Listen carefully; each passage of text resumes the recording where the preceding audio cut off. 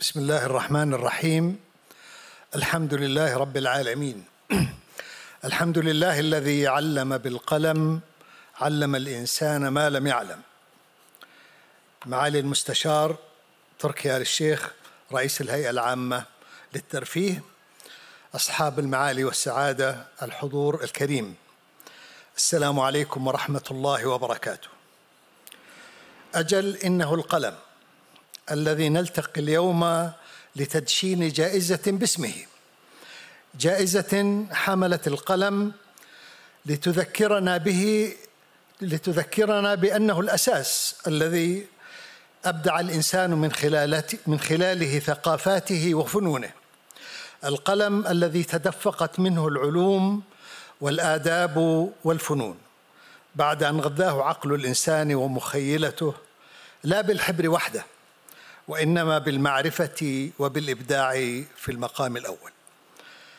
نحن أيها السيدات والسادة أمام عطاء آخر من عطاءات هذا الوطن المملكة العربية السعودية الذي لم يتوقف عن العطاء منذ تأسس والذي يعيش اليوم مرحلة أخرى من مراحل ذلك العطاء. في عهد خادم الحرمين الشريفين الملك سلمان بن عبد العزيز حفظه الله ورعاه. وولي عهده صاحب السمو الملكي الأمير محمد بن سلمان حفظه الله ووفقه. نحن أيها السادة والسيدات أمام البناء وهو يعانق العالم بإضافة كبيرة. هي جائزة القلم الذهبي للأدب الأكثر تاثيرا. والتي أسفر عنها فكر وعزيمة هذا الرجل معالي المستشار تركي آل الشيخ.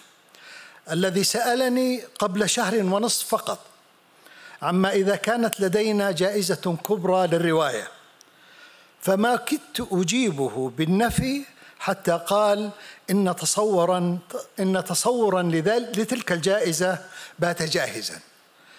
ولكم أن تتخيلوا حجم دهشتي للعزيمة والسرعة في الإنجاز. إنها أيها الإخوة والأخوات جائزة فريدة من نوعها بقدر ما هي كبيرة في حجمها وعظيمة في قيمتها.